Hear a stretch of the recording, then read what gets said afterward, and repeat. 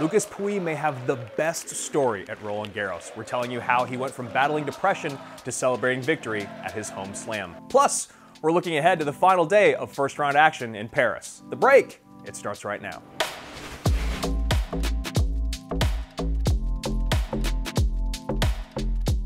Hey everyone, I'm Andrew Guy, and you are watching The Break. On Sunday, Frenchman Lucas Pouille became the lowest ranked man to win a main draw match at Roland Garros in 10 years.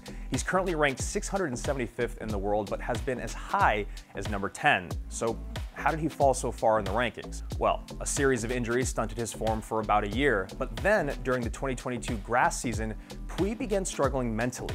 He told L'Equipe that he was sleeping one hour a night and drinking alone while at tournaments. This depression forced him to lie to his then coach Felix Mantilla about his health, saying, It was impossible to close my eyes. I was all alone with Felix. I would go back to my room and look at the ceiling. I was sinking into a creepy thing. I stood up with my eyes blown up every morning. Felix asked me, Don't you sleep? Yes, yes, I have allergies, carpet, pollen, grass. I was lying to him. He went on to say that that period in his life led him to the fear that he'd be institutionalized. It was that fear that made him stop playing altogether. He added in the interview that his daughter was a huge motivating factor in getting healthy. Then, a casual hit with fellow Frenchman Pierre-Hugues Herbert reignited his interest in tennis. He made the 2024 Paris Olympics his goal and went back to work. Back in March, he began preparing for a return on the clay, and just last week, Pouille found himself playing in front of a home crowd at Roland Garros. Lucas hadn't played a match in over a month coming into the Roland Garros qualies. After winning the three matches necessary to move into the main draw, we got this wonderful moment.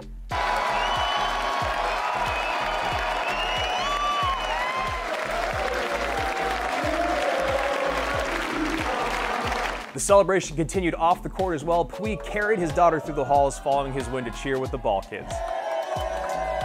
He'd enter into the main draw of a major for the first time in a year, and things got even sweeter for Lucas when he won his first round match just three days later. Following the win, he sang the French national anthem with the crowd. You gotta check this out.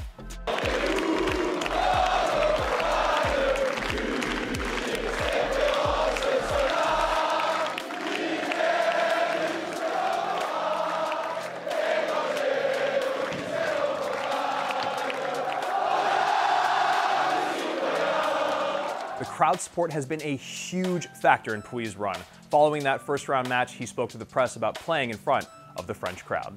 It's really special. Um, that's why also I, I think I took I don't know 30 minutes on court to sign the to sign all the autograph, uh, take all the pictures because we finished very pretty late and the court was uh, still packed uh, and they were cheering me up from the first point to the last one uh, and it was yeah the energy was just incredible and it was so many so many good emotion his second round appearance will bump him 200 spots in the rankings to around 475.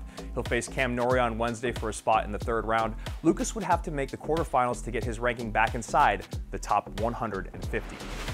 Two days of first round matches down, one day to go. Let's look ahead to Tuesday at Roland Garros. Top seed and defending champion Iga Swiatek will take the court against Bucsa. Fresh off of her win in Rome, Elena Rybakina will also begin her Roland Garros campaign against talented teenager Brenda Fruhvirtova. Major champions Victoria Azarenka and Bianca Andreescu will face each other for a spot in the second round. Top-ranked American Taylor Fritz will battle Michael Mmoh. Fritz has never made it past the third round at the French. He'll try to change that this year. Italian Open champion Daniil Medvedev plays his opening round match against Seyboth Wild on Tuesday.